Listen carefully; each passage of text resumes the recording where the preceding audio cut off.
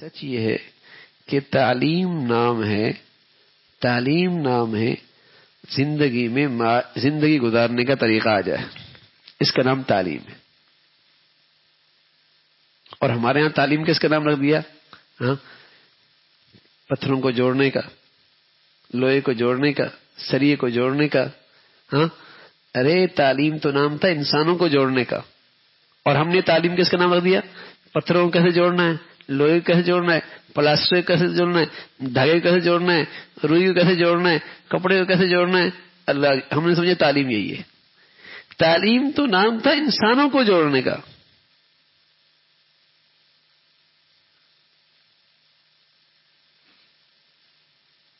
अच्छा ये बताओ, कोई मोची को भी तालीम याफ्ता कहता है? अरे, उस बेचारे क्या कसूर है? वो भी तो जी तो जोड़ रहा है। तुम धागे जोड़ रहे कपड़ा बना रहे तुम तालीम याफ्ता? और वो बेचारा जूते जोड़ रहा है, वो तालीम याफ्ता नहीं है।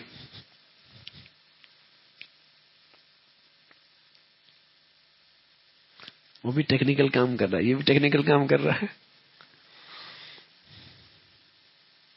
वो भी टेक्निकल काम कर रहा है, ये भी टेक्निकल काम कर रहा है।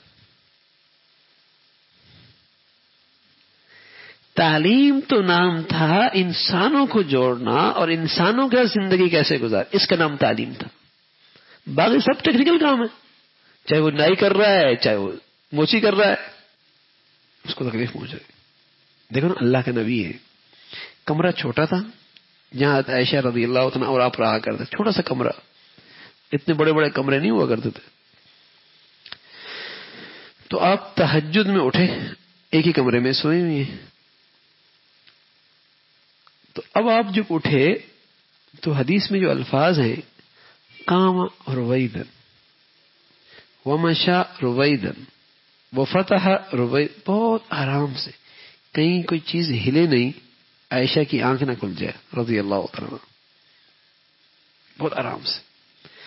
फिर जब उठे तो बहुत आराम से जूते पहनी, चले, ताकि कहीं आवाज़ ना आए।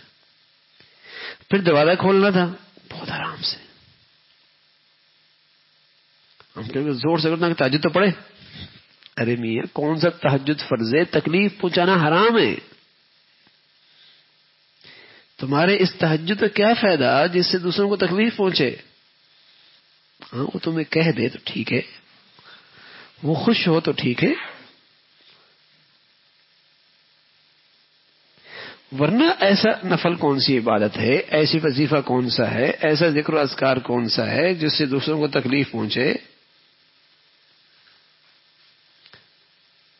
तो अल्लाह का नबी सल्लल्लाहु अलैहि वसल्लम इतनी रियायत कर रहे लेकिन हम कमज़ोर लोग हैं। एक तरफ़ से तो हो नहीं सकता। दोनों को दीन सीखना पड़ेगा। दोनों को दीन सीखना पड़ेगा। एक पहिए में हवा ठीक हो, गाड़ी फिर भी नहीं चलेगी। अगर दूसरी बिल्कुल पंचर हो तो। दोनों ठीक करनी पड़ी। तब गाड़ी मंजिल तक जाएगी। दीन सीखना पड़ेगा ये। तब बात बनेगी। वरना हम कमज़ोर लोग करते रहे करते रहे, दूसरी तरफ़ से रिएक्शन ही मिलता रहे तो आदमी का हौसला टूट जाता है। कमज़ोर आदमी। लेकिन कोई आदमी हौसला रखे तो अजर बहुत है। सवाब बहुत है। उसकी जन्नत इसी से बन जाएगी। एक भी नफल ना पड़े, ये सबसे बड़ा नफल का सवाब उसे मिलेगा। एक भी वजीफा न पड़े, इन तकलीफों पे सबर करना ही उसके लिए जन्नत है। लेकिन दीन के माहौल में घर वालों को आना ज़रूरी है।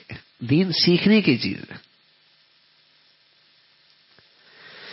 अच्छा ये चीज़ें सुनने सुनने से ना, ये नहीं कि आज ही हमारी ज़िंदगी में आ जाएँगी। लेकिन एक चीज़ ज़रूर पैदा हो जाएगी। एहसास तो हो जाएगा, मियाँ, कुछ गलत हो रहा है। ये तो हो जाएगा।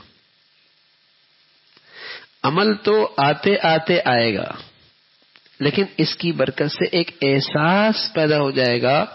आदमी कोशिश शुरू करने लगेगा, अल्लाह से मदद मांगने लग जाएगा। बस निजात के लिए यही चीज़ है। कोशिश करने लग जाएगा और अल्लाह से मदद मांगने जाएगा। निजात के लिए यही काफ़ी